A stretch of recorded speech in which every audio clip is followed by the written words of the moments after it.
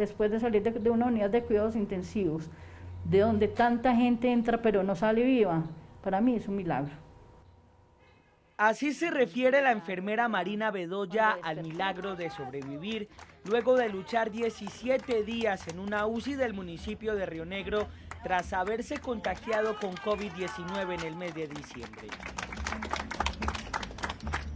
Es una situación dura porque eh, como se siente uno muy frágil, se siente uno, o sea, es estar en las manos de las demás personas, a lo que los demás hagan por uno.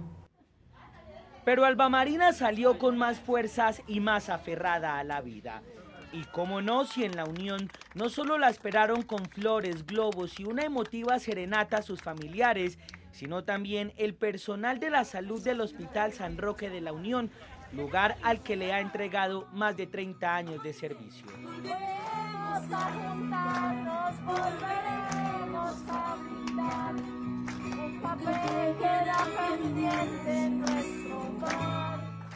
Es como volver a nacer.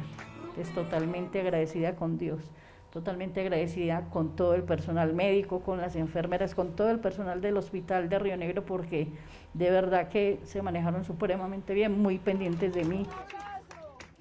Marina Bedoya es una de las más de 1.800.000 personas que se han recuperado de la enfermedad en Colombia.